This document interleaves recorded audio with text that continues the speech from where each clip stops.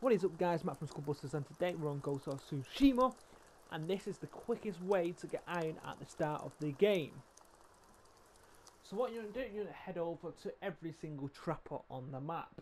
So they can be in the towns or they can be either in the bases, uh, sorry, small survivor camps. So as you can see there, there's a trapper right there in the base. Uh, there's another trapper in this town. There's a trapper. So what you're going to do, you're going to collect as much supplies as you possibly can and obviously buy all these iron ingots.